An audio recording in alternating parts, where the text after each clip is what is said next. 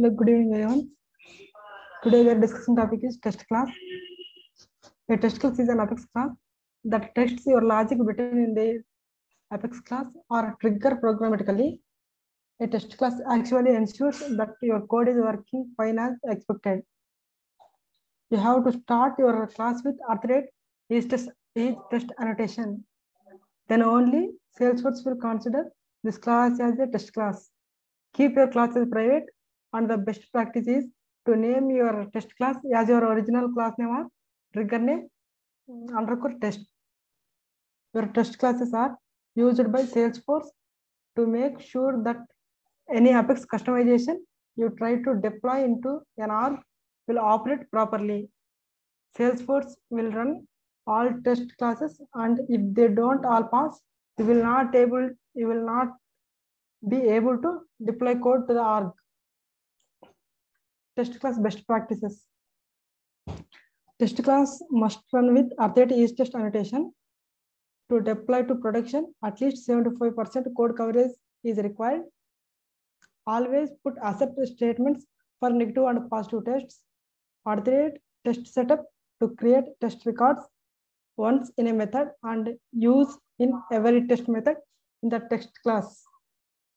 Avoid hard coding IDs anywhere in test class or any Salesforce Apex class. Use system.run as method to test the functionality in user context. Uh, after that, if possible, do not use see all data equal to true. Create your own test data.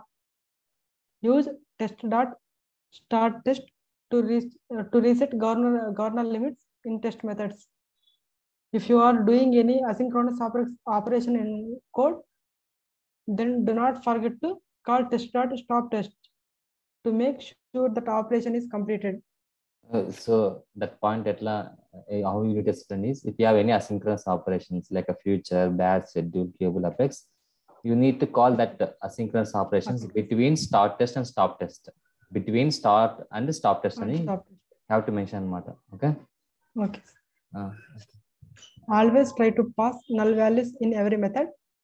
This is the area where most of program fails unknowing, unknowingly.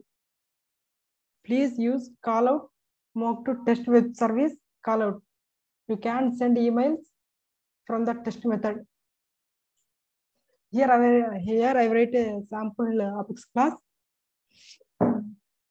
Area of uh, area of square and rectangle and a triangle mm, with one method is with one parameter and the second method is two two parameters and the third one is three parameters.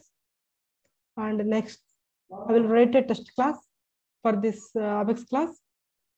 Uh, i will starting with test class is after is test method is, is test annotation. And uh, i will pass the method with object name. Here complete the test class